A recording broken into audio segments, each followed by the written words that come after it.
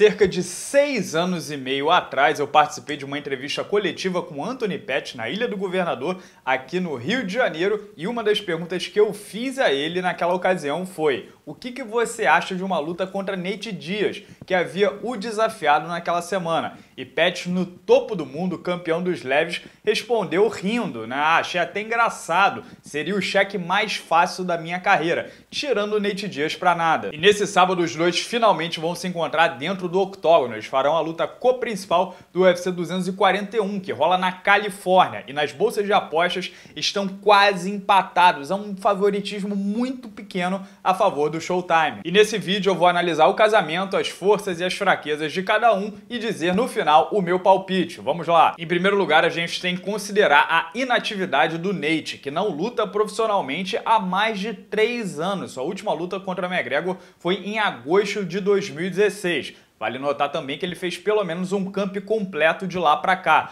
na luta contra o Dustin Poirier, em que o Poirier se lesionou e saiu ali em cima do laço. Só nesse período, Pettis fez seis lutas e se testou contra o próprio Poirier, Max Holloway, Tony Ferguson, Michael Chiesa e muita gente boa. A série do ex-campeão não era das melhores, né? Ele perdeu três lutas seguidas no peso leve, decidiu baixar para 66 quilos e começou um perde-ganha. Ganhava uma, perdia a outra, ganhava uma, perdia a outra, ganhava uma, perdia a outra, até que numa decisão que na época parecia desesperada, ele topou uma luta até 77 quilos, ele que nunca bateu esse peso profissionalmente, contra o Stephen Wonderboy Thompson, que era top dessa divisão. E aqui eu tenho que comentar exatamente como eu vi as minhas impressões. O Pet estava sendo absolutamente dominado em pé pelo kickboxer e achou um nocaute no final do segundo round. Lindo, plástico, genial, com punch, com timing, com tudo que a gente pode perceber. Mas é difícil acreditar que num novo encontro esse cenário poderia se repetir. Numa eventual revanche, o Stephen Thompson seria o favorito. O Pettis, então, que tinha topado uma aventura e na época já falava até em aposentadoria, fazer lutas com caras que ele admirava e coisas do tipo, acabou se estabelecendo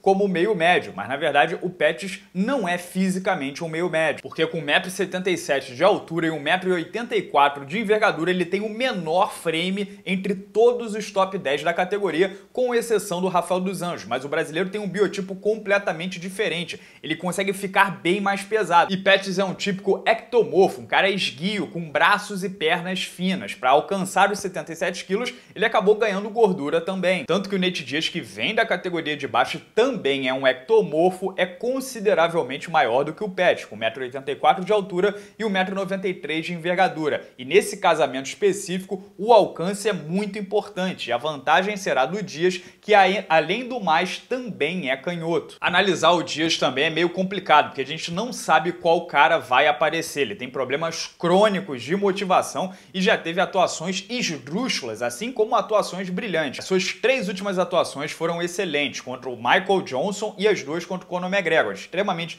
competitivo e bem, bem preparado. Mas a anterior contra o Rafael dos Anjos, Nate Diaz chegou barrigudo, fora de forma e sem nenhuma vontade de estar ali. Então é complicado você empurrar suas fichas num cara que trata a própria carreira de uma forma temperamental. O Pettis perde ou ganha, a gente nunca ouviu desleixado. Mas acompanhando o Nate pelas redes sociais, né, do seu campo, o pessoal que tá no entorno dele, você vê que o cara tá numa forma física exuberante. Tanto no camp contra o Dustin Poirier, quanto esse, ele parece estar no melhor shape da sua carreira, ou seja, tá fazendo o trabalho e tá levando a sério. Até porque ele tem 34 anos, né? O dinheiro acaba, né? Ele faturou duas boladas contra o Conor McGregor, mas se só sai e não entra, fica complicado. Pela entrevista que eu vi ele dando pro Brett Okamoto da ESPN, ele parece ter entendido que o tempo tá passando. Daqui a pouco, de repente, a idade pesa e ele quer aproveitar enquanto ainda tem juventude. Então ele passou esse tempo todo curtindo, zoando, noitada e tal, e chegou à conclusão que ele é de fato um lutador, que ele precisa estar lutando. Já o Duke Rufus, né, o mentor da carreira do Pet, campeão mundial de kickboxing, treinador dele, disse no programa do Ariel Hawani que esse foi o melhor camp da vida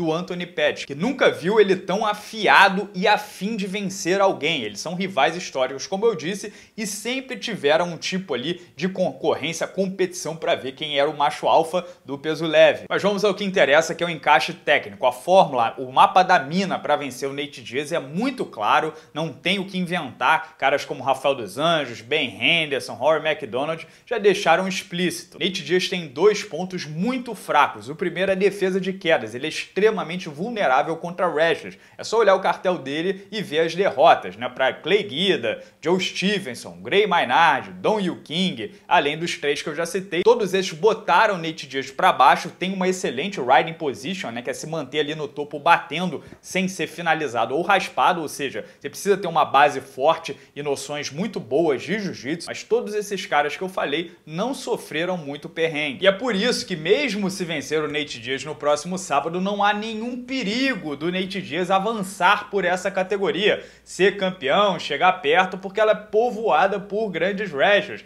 Kamaru Usman, Kobe Covington, Tyron Woodley, Ben Askren, todos eles têm um estilo de jogo terrível para o Dias. E a segunda grande vulnerabilidade do irmão mais novo do Nick Dias são os chutes, tanto ofensiva quanto defensivamente. Ele não defende os chutes e também não chuta ninguém. Mas a parte defensiva é pior. Nate Dias não treina kickboxing, é só boxe e jiu-jitsu. Ele se vira com isso. E como ele é um cara comprido, a base dele fica bem aberta e a perna dianteira fica muito vulnerável aos chutes baixos. Então, quem se propõe a bicar a perna dele dianteira tira a mobilidade dele já lá no segundo, no terceiro round. De novo, Rafael dos Anjos, Ben Henderson e o Conor McGregor na segunda luta entre eles exploraram muito essa falha. Eu poderia dizer que a defesa do Nate também é vulnerável para chutes altos, mas a gente só tem ali uma amostragem. Né? Na luta contra o Josh Thompson, ele tomou uma canelada e acabou caindo o, Nate, o Nick Diaz jogou a toalha, né? Pediu para parar a luta estando no corner, mas aquele caso ali foi diferente, porque primeiro, ele nunca levou um outro chute daquele, nem contra o Donald Cerrone,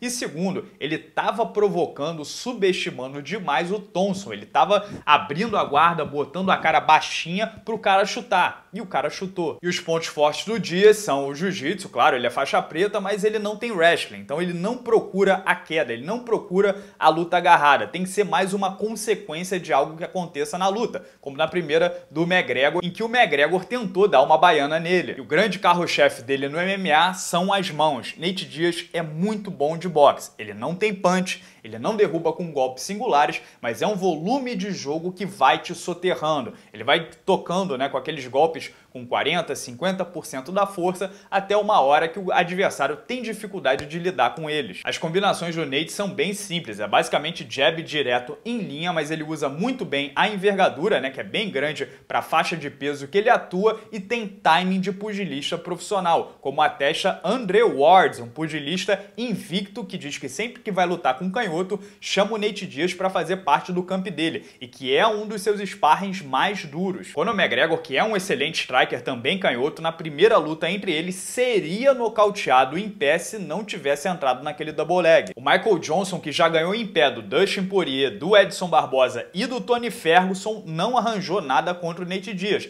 E a mesma coisa o Donald Cerrone, que dispensa apresentações. E o Pettis é um faixa preta de jiu-jitsu, mas acho que nesse casamento a luta agarrada não vai dar o ar da graça e é um faixa preta de taekwondo, ou seja, o grande carro-chefe do Pet são os chutes principalmente da linha de cintura para cima. O Pet não é um grande low kicker, né, de machadar a perna dianteira dos adversários, como é o Edson Barbosa, por exemplo. É claro que ele pode fazer adaptações no seu jogo, investir mais nas pernas do adversário, mas o grande ponto forte do Anthony Pettis não é, não encaixa exatamente com as fraquezas do Nate Diaz. Pettis também não é um volume striker, um cara com output né, muito grande, que joga um volume muito grande de golpes. O Nate faz mais isso e eu acho sinceramente que a grande chance do Showtime de vencer no sábado é acertar um chute na linha de cintura que deixe o irmão Dias arriado ou um chute alto que o nocauteie. E para mim, esses são cenários de exceção. Joga a favor do Pettis o fato de ser uma luta de apenas três rounds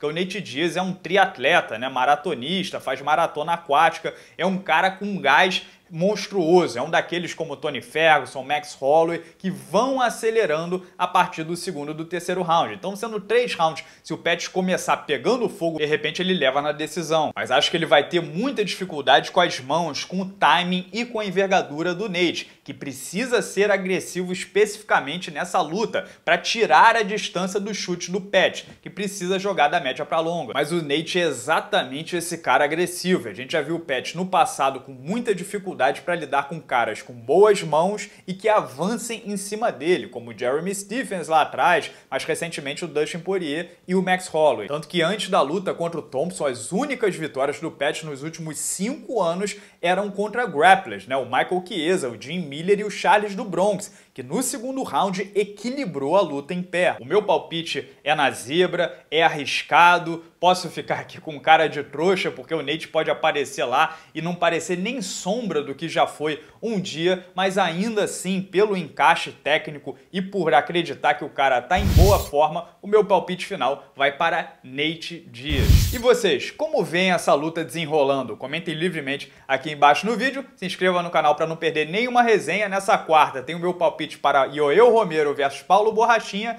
e quinta-feira para Daniel Cormier versus Stipe Miocic, além de outras resenhas que eu ainda vou fazer essa semana. Fechado? Então fique aqui no sexto round. Muito obrigado pela companhia de sempre. Um grande abraço e até a próxima.